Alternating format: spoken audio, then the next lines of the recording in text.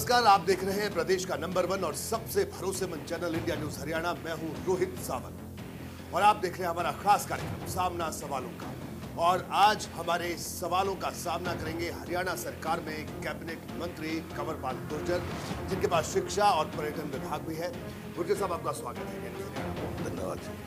गुर्जर साहब क्या कहना है? शिक्षा मंत्री आप इस वक्त हरियाणा के हैं और शिक्षा को लेकर या पूरे देश भर में एक विमर्श चल रहा है। तो शिक्षा के क्षेत्र में हरियाणा में क्या बदलाव देखने को मिलेगा अगले पाँच सालों में देखिए शिक्षा के मामले में हमारा प्रयास है कि सबसे पहले तो हमारा ये है कि भी कहीं भी इस प्रकार से क्योंकि पहले काफ़ी ऐसी रहा कि कहीं रहा है कि जहाँ बच्चे हैं कई बार वहाँ टीचर नहीं है। और कई बार जहाँ बच्चे कम हैं वहाँ टीचर है। प्रकार से हम चाहते हैं कि इस व्यवस्था को पूरी तरीके से ठीक करें। और आने वाले टाइम में हम चाहते हैं कि आने वाले दो साल में कोई एक भी ऐसी जगह नहीं होनी चाहिए जहाँ पे बच्चे तो हैं लेकिन टीचर नहीं है। हर जगह टीचर उपलब्ध होना चाहिए। इसके लिए हमने पिछली सरकार में लगभग पचास हज़ार जो टीचरों की भर्ती की है। और आज की तारीख में हमारे पास जो जे है वो पर्याप्त है उसमें हमारे पास कोई शॉर्टेज नहीं है। लेकिन टीजीटी और पीजीटी में हमारे पास कुछ शॉर्टेज है और जो लेक्चरार है उसके लिए।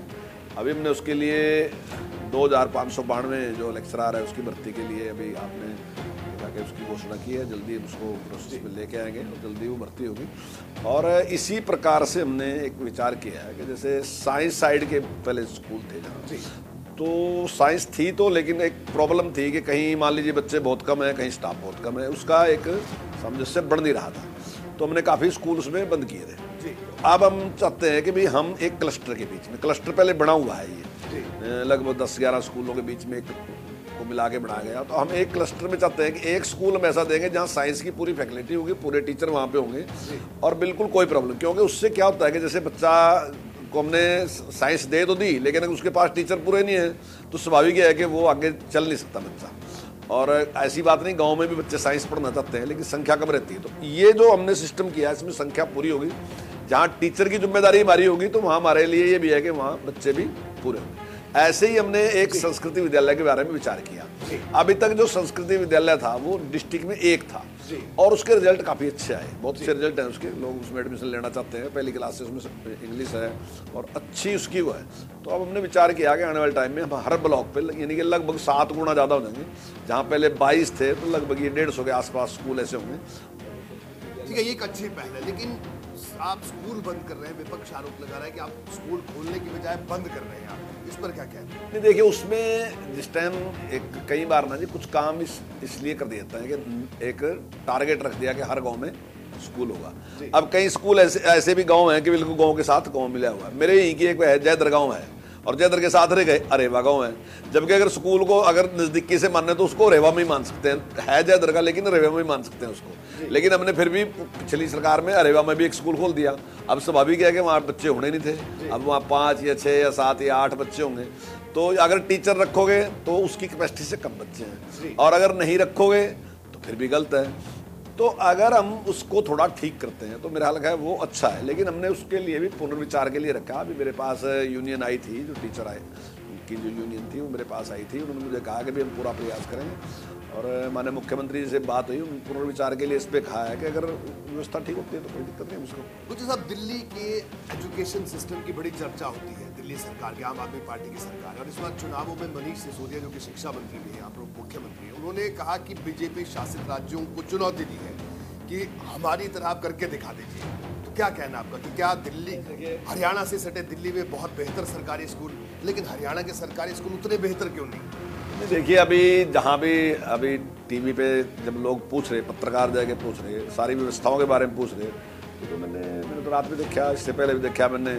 और सोशल मीडिया पे भी देखा, लोग तो कहते हैं कि ना कहीं सफ़ाई है, ना कहीं गली है, जो स्कूल और मोहल्ला क्लिनिक की जो बातें हैं, वो खाली बातें हैं।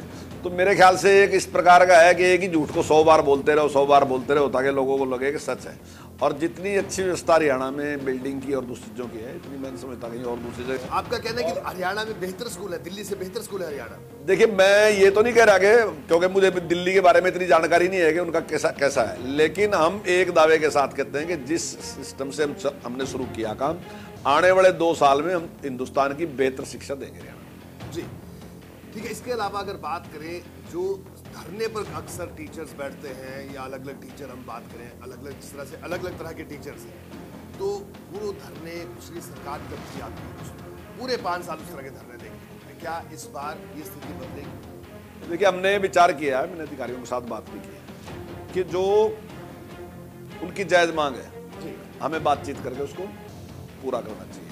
हर बात के लिए कोर्ट में जाना चाहिए। जी।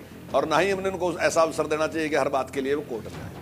तो हमारा प्रयास रहेगा कि जो उनकी जायज़ मांग है उसको हमें मान लेना चाहिए और उनको भी चाहिए कि वो भी इसमें हमें सहयोग करें। नजायज अगर वो मांगते हैं तो वो भी गलत करते हैं और उन्होंने आश्वासन भी दिया है कि हम आपका सहयोग करेंगे। तो मुझे यकीन है कि हम बैठ के बातचीत करेंगे तो कुछ साहब विपक्ष विपक्ष कहता है कि मंत्रियों की जो अधिकारी है वो सुनते ही नहीं है। सेक्रेटरी भी हैं डिपार्टमेंट के वो भी नहीं सुनते। क्या ऐसा है? नहीं नहीं बिल्कुल नहीं है। सब लोग सहयोग से काम करते हैं। देखिए, अब मान लीजिए मैं अभी तक फ़ील्ड में काम कर रहा था, अब मुझे एजुकेशन मिनिस्टर बना दिया। तो ऐसा तो नहीं कि सारा ज्ञान एकदम है क्या? लेकिन जो अधिकारी काम कर रहे हैं, उनको काफ़ी ज्ञान उसको होता है। उसके साथ सहयोग करके, मंत्री और अधिकारी सहयोग करके जब काम करेंगे तो निश्चित तौर से प्रदेश का हित होगा।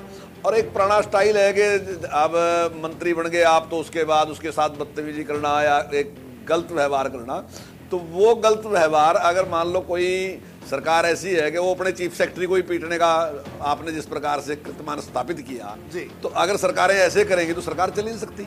और नुकसान किसका होगा? मुख्यमंत्री का नुकसान नहीं है मंत्री का नुकसान नहीं है। नुकसान तो जनता का है। सरकार किसके लिए है? जनता के लिए। अधिकारी किसके लिए है? जनता के लिए। सारा काम तो जनता के लिए है। तो मेरा मानना ये है कि जो मंत्री है और जो अधिकारी, अगर वो मिलके काम करेंगे तो उससे जनता का हित होगा। और मेरा मानना है कि ऐसा नहीं है कि देशभक्ति का भाव अधिकारियों में नहीं है। अधिकारी भी चाहते हैं कि हमारा प्रदेश, हमारा भी नाम होना चाहिए, प्रदेश का भी नाम होना चाहिए। लोग ये ज़िक्र करेंगे भी इस अधिकारी के टाइम में ये सुधार हुआ था तो वो भी चाहते हैं, हम भी चाहते हैं। तो हम मिलके काम करेंगे तो अच्छे आएँगे। ठीक है, अधिकारियों के साथ तो मिलकर काम करना, लेकिन आपको अपने गठबंधन की सहयोगी जजपा के साथ भी मिलकर काम करना होगा पाँच साल तक। तो आपको लग रहा है कि ये पाँच साल अच्छे बीतेंगे, क्योंकि विपक्ष लगातार सवाल उठा रहा है और कई विधायकों के बागी सुर भी सामने आ रहे हैं, जेजेपी की तरफ़ से, आपके विधायक ने और जो निर्दलीय विधायक है उनकी तरफ़ से, क्या कहते हैं नहीं, देखिए, अभी तक ऐसा कोई वो नहीं है, बिल्कुल हमारे संबंध बहुत अच्छे हैं। और बहुत अच्छे तरीके से सरकार चल रही है और जो लोग आरोप लगा रहे हो तो अपनी पार्टी के देख लो क्या क्या हालत कर रहा है उनका किस प्रकार से एक दूसरे की किस प्रकार से लोचना किस प्रकार से आरोप। आज तक वो लगाते रहे। ये बात सही है कि देखिए हमारा जो गठबंधन है वो चुनाव से पहला गठबंधन नहीं है चुनाव के बाद का गठबंधन है। लेकिन उसके बावजूद भी हमने मिल बैठ के जो भी उन्होंने घोषणाएँ की थी जो घोषणा पत्र उनका था और जो जो उन्होंने की थी, जो हमने की थी, हमने बैठ के उस पर विचार करके काफ़ी हद तक हमने उसमें इकट मतलब फाइनल कर लिया कि ये चीज़ें जो हैं, हम करेंगे और आने वाले टाइम में और जो उनसे अभी बकाया भी है, उस पर भी करेंगे। और मेरा पूरा यकीन है कि ये सरकार बहुत मजबूती के साथ चलेगी और जिस प्रकार से आज हमारे संबंध हैं, बहुत अच्छे संबंध हैं तो कोई दिक्कत नहीं। गुज्जर साहब, आप जिस विचार से आते हैं, आप संघ के स्वयंसेवक भी आप रहे हैं और अब राजनीति में सक्रिय राजनीति में लेकिन आपको लगता है कि गठबंधन में उस विचार को आप आगे बढ़ा पाएँगे क्योंकि जेजेपी की सोच अगर हम विचारधारा के लिहाज से देखें तो थोड़ी अलग है। देखिए ये आरएसएस की जो बात है ना जी उससे वो लोग परेशान है जो आरएसएस को जानते हैं। जी। जब आप आरएस को जान दोगे तो आप आरएस के साथ ही सहमत हो। जी। जाओगे आरएसएस ने आज तक कोई पूजा पत्ती की बात नहीं किसी किसी के साथ भेदभाव की बात नहीं। आरएसएस केवल और केवल देश की बात करती है। नहीं तो जब जब दुष्यंत चौटाला विपक्ष में थे तो आरोप लगाते थे कि आरएसएस के इशारे पर भर्तियाँ हो रही है विश्वविद्यालयों में वाइस चांसलर रखे जा रहे हैं। अब आप शिक्षा मंत्री है वो आपके गठबंधन में सहयोगी है। यही तो कह रहा हूँ जब जब आप पास बैठते हैं और आप इकट्ठे उस विचार को जानते हैं आपको लगता है कि शायद मैंने देरी कर दी इसको जानने में? ये सही है। कुछ लोगों के तो स्वार्थ हैं। वो सोचते हैं कि बदनाम करने के लिए कुछ तो चाहिए। आर एस का नाम लेते रहो। अभी आपने पाकिस्तान का देखा होगा। पाकिस्तान के लोग भी ये कह रहे हैं कि आर एस एस इतना अच्छा संगठन है जो दुनिया में अपने टाइप का एक ऐसा संगठन है जो इस तरीके से देश और समाज को व्यक्ति निर्माण का कार्य कर रहा। तो उसमें कोई वो नहीं है। तो जब हम मिलके बैठेंगे तो और एक दूसरे को जानेंगे तो कोई दिक्कत नहीं है। और आप देख भी रहे हैं, सरकार की कारगुजारी को भी देख रहे हैं, माननीय प्रधानमंत्री जी की कारगुजारी को भी देख रहे हैं, मुख्यमंत्री की कारगुजारी को भी देख रहे हैं, हमारे जो एमएलए हैं, हमारे जो मंत्री हैं, उनकी कारगुजारी को भी देख रहे हैं। तो आपका कहना है कि गठबंधन में सब कुछ ठीक ठाक है और विपक्ष जो है ये सिर्फ़ राजनीतिक बयानबाजी कर रहा है? देखिए हर आदमी को कुछ ना कुछ तो सहारा तो चाहिएगा ना जी।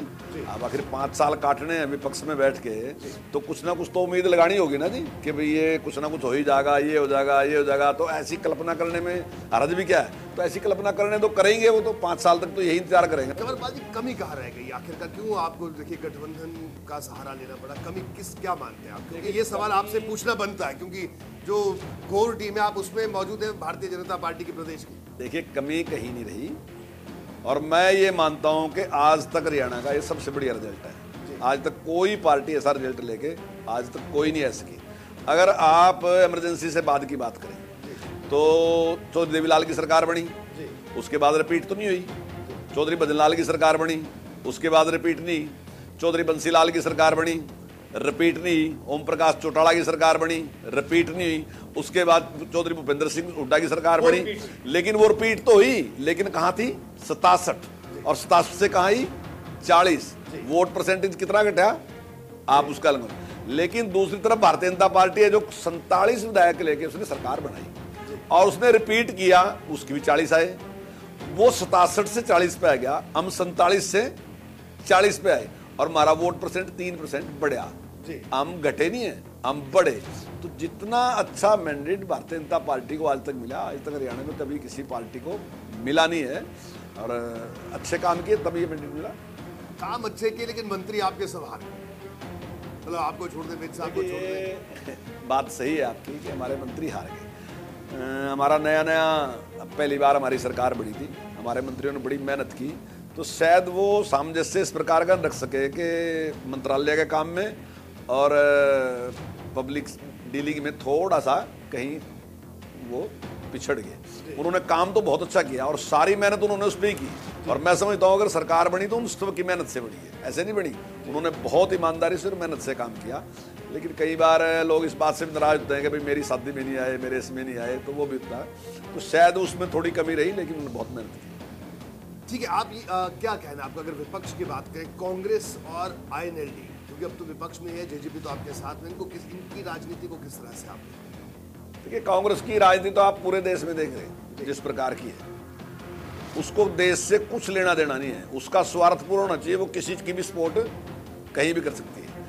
अब सी ए अब उस पर किस बात पे विरोध कर रही है? जिस बात को स्वयं उनका प्रधानमंत्री जो रहा पहले डॉक्टर मनमोहन सिंह जी उन्होंने कहा कि भाई ये होना चाहिए।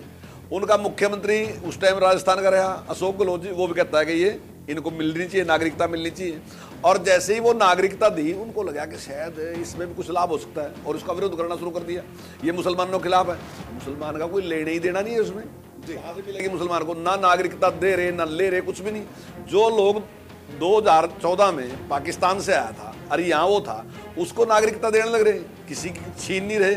सिर्फ़ देने का काम कर रहे लेने का तो किसी से कुछ भी नहीं कर रहे। लेकिन इतनी बड़ी पार्टी जिसने इतने लंबे टाइम तक देश पे राज किया हो और जिसके इतने बड़े बड़े नेता रहे हों और वो पार्टी किस बात पे आएगी? कि लोगों को बहकाने का काम कर रही अभी आपने कल का वीडियो देखा होगा किस प्रकार से बच्चे कह रहे कि मोदी तो मार देगा मोदी तो ये कर देगा क्या पढ़ा रहे आप? अगर आप ऐसा डर पैदा कर रहे लोगों में ऐसा बच्चों में डर पैदा कर किसको नुकसान होगा? बीजेपी को? देश को नुकसान होगा। अगर देश के नागरिक ऐसा, ऐसी सोच बन जाएगी उनका तो यानी कि कांग्रेस का उद्देश्य केवल और केवल सत्ता है। देश के बारे में सोचना नहीं है, केवल ये है कि किसी तरीके से सत्ता को हथिया दो। वो चाहे फिर हरियाणा की बात हो, चाहे कहीं दूसरी की बात हो या देश की बात हो तो उनके पास काम करने के लिए तो है नहीं। लेकिन इस तरीके के का है और इस बखाने पे राज करना चाहते हैं। एक और बात करें, पर्यटन मंत्रालय की भी बात करनी है। ठीक है, एक बड़ा इवेंट है सूरजकुंड जो हरियाणा में टूरिज़्म मंत्रालय तो बहुत पुराना है लेकिन उस स्तर पर हम टूरिज़्म को हरियाणा में क्यों प्रमोट नहीं कर पाए? क्या इन पाँच सालों में हम प्रमोट कर पाएँगे? सिर्फ़ नेशनल जीटी करनाल रोड पर या नेशनल हाईवे के आसपास हम रेस्टोरेंट या होटल बना के ही प्रमोट कर पाएँगे? बिल्कुल बिल्कुल मैं आपकी बात से सहमत हूँ इस बात से कि वाकई हमारे पास बहुत सुंदर सुंदर जगह है लेकिन हम उस प्रकार से प्रमोट नहीं कर सके। हमारा प्रयास है अब की बार और जो विशेषज्ञ हैं हम उनकी भी राय लेंगे। कई स्थान जिस प्रकार से हमारे हैं हमारा प्रयास है कि अब की बार उसमें हम सुधार करेंगे और हमारा जो टूरिज़्म है वो प्रॉफिट में भी आना चाहिए और बाहर से लोग आने भी चाहिए देखने के लिए। हमारे पास बहुत सुंदर जगह है। मैं कई जगह घूमने गया उनके मुकाबले में हमारी जगह बहुत सुंदर है उनसे। और हमारे पास कुरुक्षेत्र जैसी जगह है जहाँ भगवान श्री कृष्ण ने गीता का उपदेश दिया तो पूरी दुनिया में जिसका वो है। तो हमारा प्रयास है और हमने पिछले कोई पर्यटन नीति लेकर आएँगे आप या कुछ इस तरह का कोई आपने सोचा है कुछ? नहीं इसके बारे में पूरा हम विचार कर रहे हैं। अधिकारियों के साथ ही बात हुई माननीय मुख्यमंत्री जी के साथ ही बात हुई और भी जो विशेषज्ञ हैं। और अगर आपके चैनल के माध्यम से मैं ये कहना चाहूँगा कि अगर और भी कोई इसमें सलाह देना चाहता है जिसका अनुभव है तो हम निश्चित तौर पर विचार करेंगे और हमारा पूरा प्रयास रहेगा कि हम इसमें अच्छे परिणाम दें। कंवरपाल जी आपको नहीं लगता कि टूरिज़्म की बात करें खास तौर पर जो होटल्स की बात करें अगर उनकी स्थिति हम देखते हैं कि अगर वो प्राइवेट निजी संस्थाओं को दिए जाए प्राइवेट पार्टनरशिप से चलाए जाए तो ज़्यादा बेहतर चलेंगे। हाँ नहीं उस पर भी हम विचार कर रहे हैं। लेकिन जैसे निजीकरण की बात आती है तो हाँ तो लेकिन फिर उसका विरोध भी शुरू हो जाता है साथ साथ नहीं नहीं नहीं उसमें हम इस पर विचार कर रहे हैं कि कहीं कहीं हम पीपी मोड पे उसको लेके आएँगे ताकि उसमें सुधार हो और ये वैसे तो अभी तो एट पार ही है बराबर बराबर ही है। अभी तक कोई मतलब पिछला चौदह करोड़ करोड़ का घाटा था लेकिन अब की बार दो करोड़ का है और अब की बार आने वाले टाइम में हम इसको प्रॉफिट में ले आएँगे। मुझे पूरी उम्मीद है कि हम अच्छे प्रॉफिट में इसको लेके आएँगे। लेकिन मैं इससे सेटिस्फाई नहीं हूँ। मतलब प्रॉफिट कोई मैं होटल नहीं चलाता। मेरा काम होटल चलाना नहीं है। बिल्कुल। मेरा काम है जो टूरिस्ट है उसको आकर्षित करना वो आए। और मैं ये भी नहीं चाहता कि होटलों की आमदनी को मैं मानता ही नहीं टूरिज़्म की आमदनी। मैं चाहता हूँ कि जो जनमानस आम आदमी है उसको क्या लाभ है? उसको अगर लाभ होगा तब तो मेरे इस काम का कोई फ़ायदा है। और अगर मैं चाहता हूँ कि होटल चलने से जो कुछ होगा तो होटल तो कोई चाहे दिल्ली में कर लो चाहे चंडीगढ़ में कर लो चाहे कहीं और कर लो ठीक है वो तो बड़ा आदमी है वो लेगा लेकिन आम आदमी को क्या लाभ है तो हमारा प्रयास रहेगा कि जो आम आदमी है तो उसको लाभ होना चाहिए हम इस तरीके से।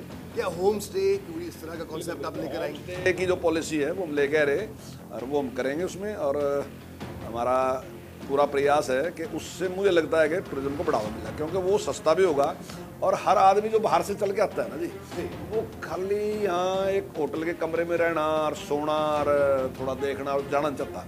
वो चाहता है कि मैं उस कल्चर को भी तो देख लूँ ना है क्या? वो लोग कैसे रहते हैं कैसे कैसे काम करते हैं? तो हम चाहते हैं कि वो उसके बीच में अगर ठहरेगा तो ज़्यादा उसका लाभ होगा। अभी हमारे यहाँ एक रोहतक में किसी ने शुरू किया है मुझे मिले थे वो अभी नाम उनका बोल रहा तो उन्होंने कहा कि उन्होंने इस प्रकार से शुरू किया मुझे मिले भी थे मैं देख के भी आऊँगा उनको। हम चाहते हैं कि इसका होम स्टे बड़ा ठीक है अब आप कहते हैं आपका विचार कहता है कि सबका साथ सबका विकास और सबका विश्वास। सीए पर आपने पहले भी बात की। तो इस देश के मुसलमानों का विश्वास क्यों नहीं आप जीत पाए? क्योंकि ये सवाल इससे इसलिए मैं आपसे कर रहा हूँ कि आप संगठन से भी उतनी ही मजबूती से जुड़े जितनी मजबूती से सरकार में बनते देखिए जो पढ़े लिखे लोग, अच्छे लोग हैं, निष्पक्ष लोग हैं, वो सब के सब पक्ष में से। आपने बहुत से लोगों का टीवी पे देखा होगा, यहाँ तक के पाकिस्तान तक के लोगों ने भी उसके पक्ष में गया इसका कोई वो नहीं है वो इसका विरोध करने लेकिन जिस प्रकार से सारी पार्टियों ने अपने स्वार्थ के लिए बहकाना शुरू कर दिया, आम आदमी को नहीं, तुम्हारे खिलाफ होगा। उसने कहा कि नहीं, मोदी तो मार देगा, ये कर, इस तरीके की जो बातें आपने कल टीवी पे देखी। आ, मतलब किस प्रकार की बातें उनको बढ़ा रहेगी अगर ये सी सीए होगा तो आपको यहाँ से निकाल देगा आपको कैंपों में रखा जाएगा आपको खाना नहीं मतलब ऐसा ऐसा उनको डराने का जो लोग प्रयास कर रहे ये सारा उन लोगों का षड्यंत्र है। और कुछ लोग ऐसे हैं जो विरोध कर रहे वो जानते हैं कि कुछ नहीं है लेकिन वो अपने स्वार्थों के लिए विरोध कर रहे हैं। क्योंकि उनके स्वार्थ उसमें है तो वो अपने स्वार्थों के लिए विरोध कर रहे हैं उनको पता है कि सीए कोई नुकसान करने वाला नहीं। और अगर ऐसी जिद कोई करने लगे कोई बिना बात के जब कोई नुकसान है नहीं तो फिर हम क्या कर सकते हैं? गुरु साहब लेकिन एक बड़ा सवाल ये है कि अगर हम चुनाव हुए इस बार के चुनाव में नूह की अगर हम बात करें जहाँ पर हमारे प्रदेश में मुस्लिम आबादी भी रहती है उनका विश्वास भी आप नहीं जीत पाए क्योंकि वहाँ से भी आपको इस वक्त जीत हासिल नहीं हुई। कहीं ना कहीं आप दिक्कत तो है कि आप उस विचार को जिस विचार को आप कहते हैं सर्वश्रेष्ठ है सबसे बेहतर है सामाजिक समरसता वाला उस विचार को वहाँ क्यों नहीं पहुँचा पा रहे आप? मेवात में भी हम जीत नहीं सके। लेकिन परसेंटेज ऑफ़ वोट आप देखो, पिछला और अब की बार का हमारा देखो। और आप इसको छोड़ के ना जी, अब क्योंकि जिस प्रकार से एक बहकाने की बात है, आप आम आदमी से बात करके देखो, जब आप बात करोगे तो वो हमारे एमएलए के बारे में और हमारी सरकार के बारे में वो कहेगा, सरकार तो बहुत अच्छी है सरकार ने काम तो बहुत किए, हर बात वो कहता है। लेकिन फिर भी वो कहता है, क्योंकि जो बहकाने वाले हैं ना जी, वो इतना बहका देते हैं कि फिर भी उनको लगता है कि शायद कुछ ना कुछ गड़बड़ मेरा अपना लगा है, उसमें काफ़ी मुसलमान है। मैंने उनसे पूछा, भाई, कोई प्रॉब्लम तो कहते हैं साहब ऐसा मज़ा कभी आया ही नहीं जैसा थारी सरकार में मज़ा आ रहा। कभी ऐसा नहीं है। पर लेकिन क्या फिर भी यार लोग डरा देगा यूँ कहेंगे कुछ ना कुछ गड़बड़ मैं गड़बड़ तो अगर कराएँगे तो दिखती ना यहाँ।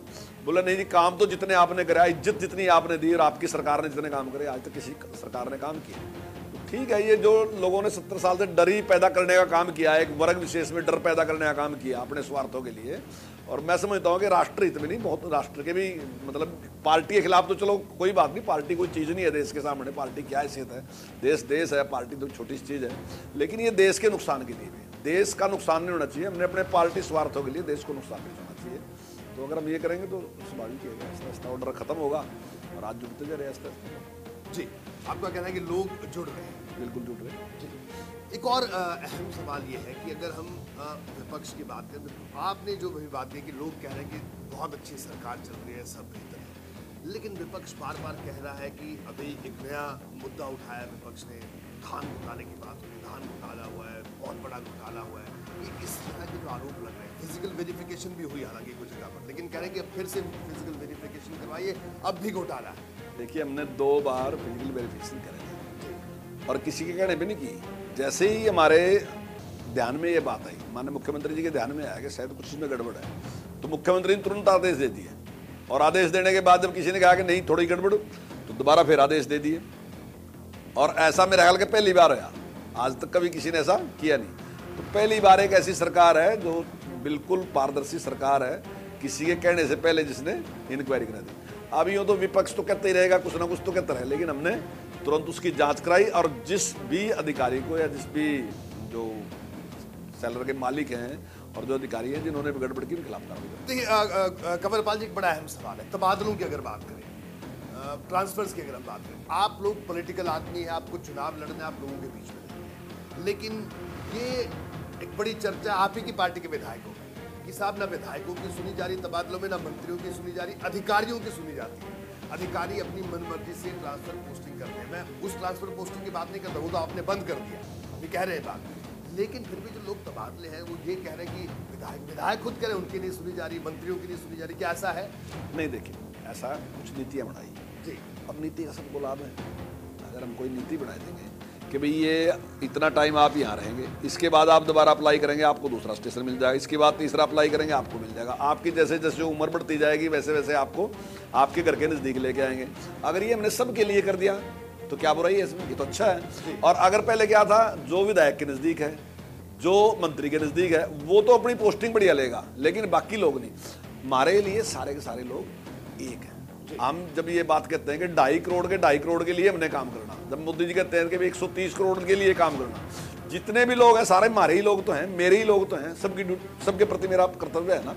जब मैं मंत्री बन गया तो मेरी ड्यूटी है कि सबके लिए मैं काम करूँगा। तो ऐसा ही सरकार ने एक विचार किया और पॉलिसी बनाई और पॉलिसी बनाई कि उसमें बड़ा सरलता रही।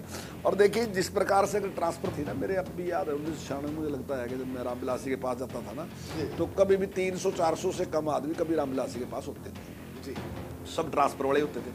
अगर ऐसे ही आप ट्रांसफ़र करते रहोगे तो ये टीचर तो सारा दिन ट्रांसफ़र के लिए ही रहेंगे। या दूसरे अधिकारी भी ट्रांसफ़र के लिए। मैं टीचर की तो इसलिए कह रहा क्योंकि मैं शिक्षा मंत्री हूँ तो ये- काम करने की बजाय स्कूल में और उस पर ही रहेंगे।